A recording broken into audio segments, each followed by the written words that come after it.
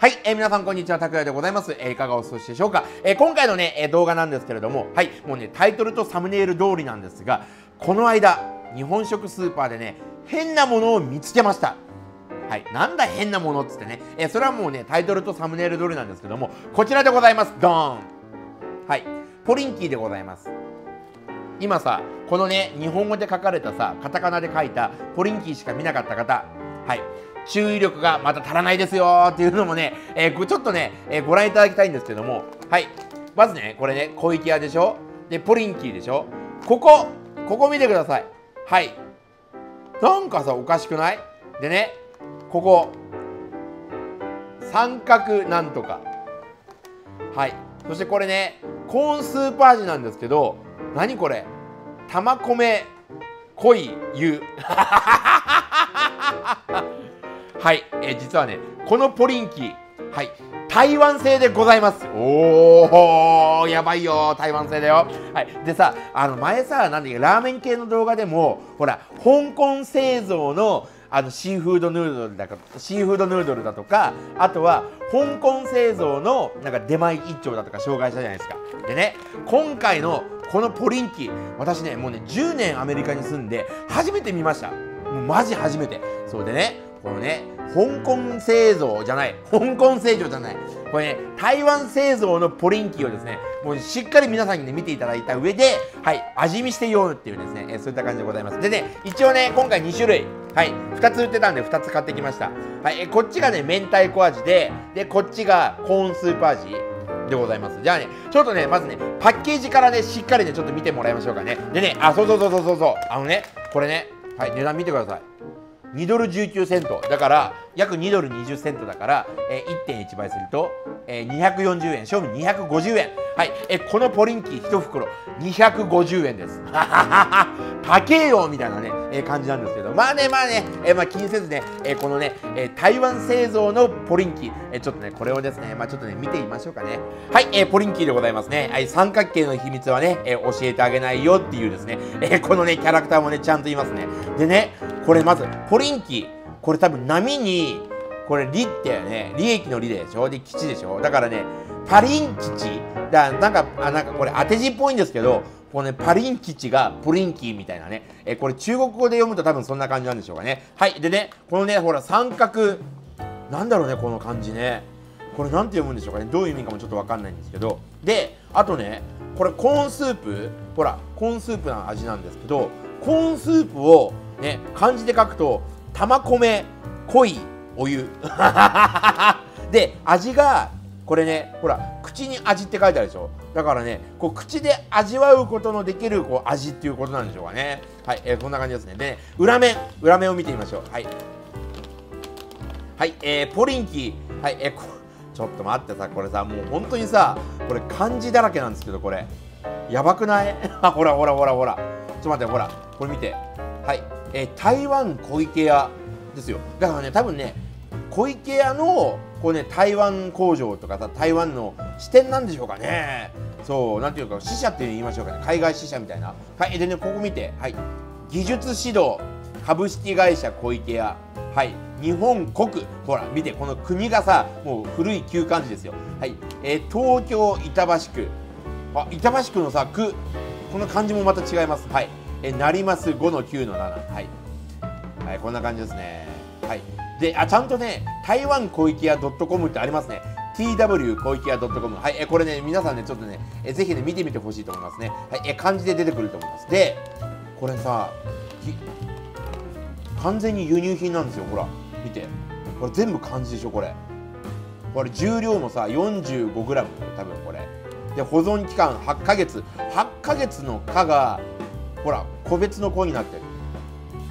すごいですね。原産地台湾。やばいっしょこれ。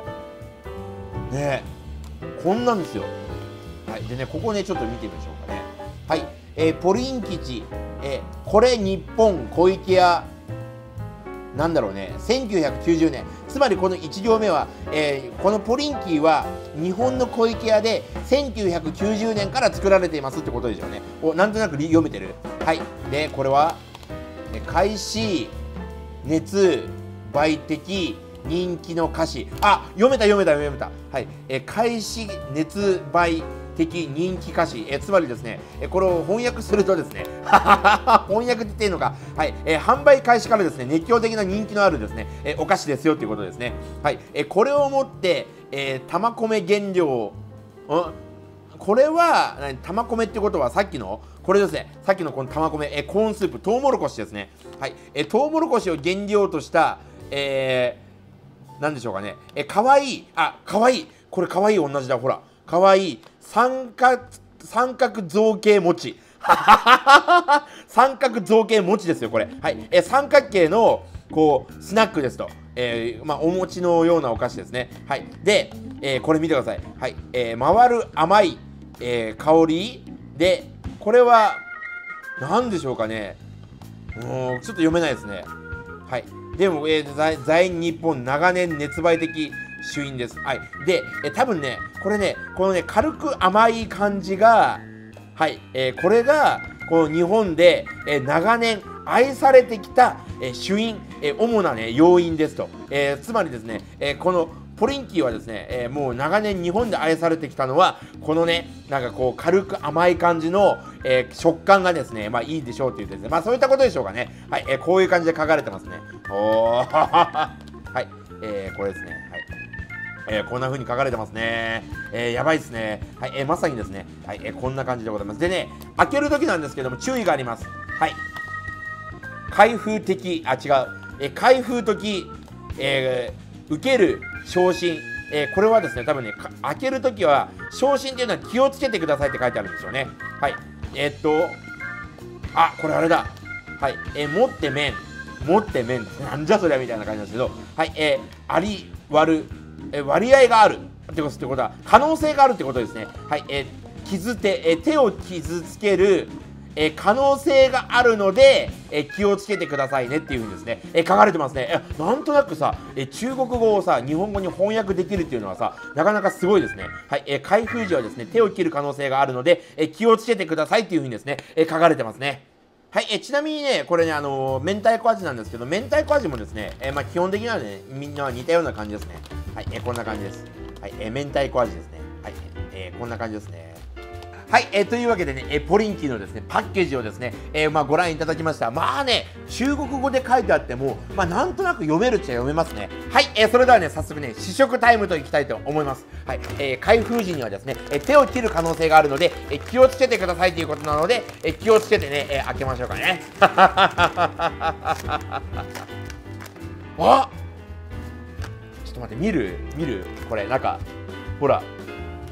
ほら見て見て見て。日本のさ三角形のポリンキーと全く同じ形。やばいね。美味しそうだね。あれ？あれ？ちょっと待って。これコーンスープの匂いがする。いやまあそれはもちろんそうなんですけど。ではいただきます。ん？あれ？これさちょっと待って。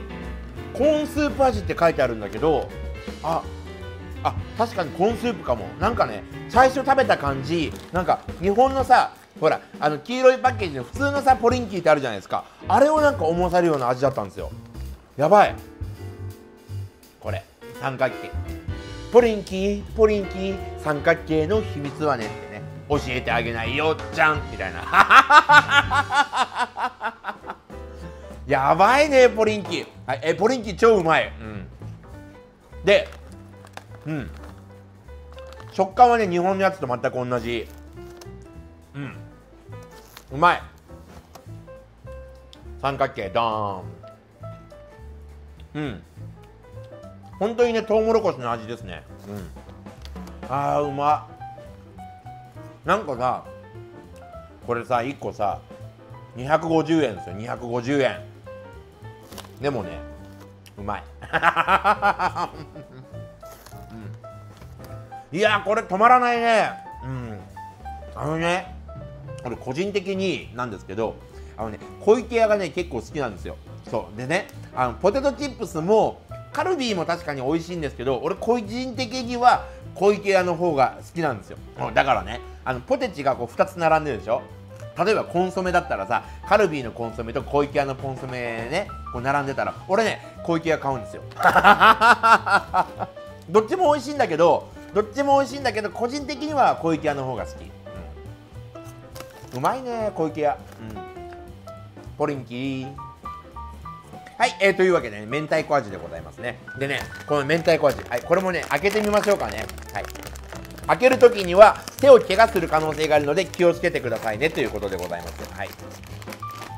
おあ見る中ほらこんなほらこんな感じ。ちょっと赤いの。ほら明太子の赤さがついてます。はい。見る。はい。こんな感じ。こんなんですよ。こんな、うん、では早速いただきます。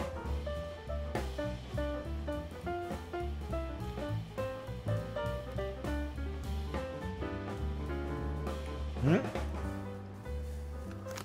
ちょっと1個じゃ分からん。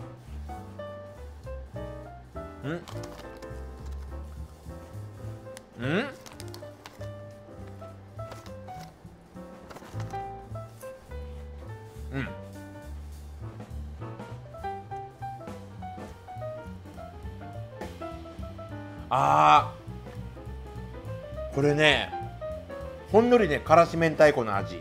うん。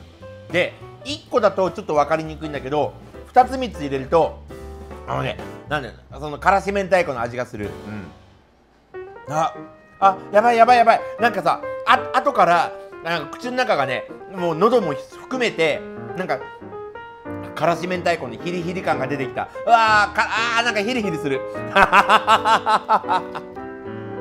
うん。いやでもねこれこれねポリンキー、うん、これうまい。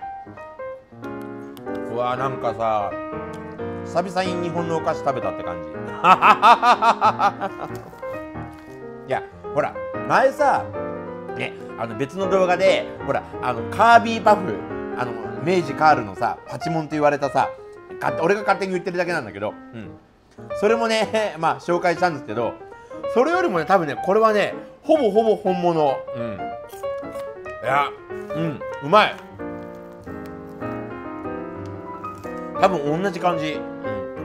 うわ懐かしいポリンキーとか本当に。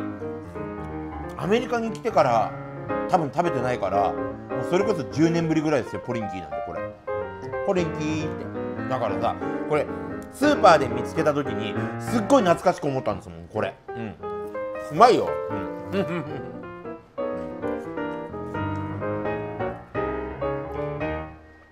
あー幸せ。幸せでございます。